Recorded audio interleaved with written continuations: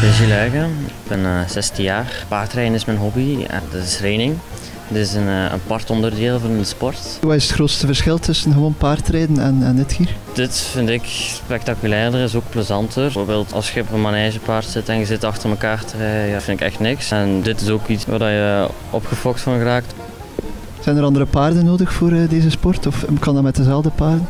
Dat kan niet met dezelfde paarden. Er is uh, vooral met quarters. Met paints gaat dat ook, maar bijvoorbeeld een jumpingpaard, dat gaat niet gaan. Die zijn er ook niet voor gemaakt, er zit ook niet in het bloed. Je zegt dat je meedoet aan kampioenschappen. Wat houdt dat dan precies in? Wat moet je precies doen? Um, dat zijn bepaalde paternen, dat zijn bepaalde proeven en dan moet je dat in de juiste volgorde doen.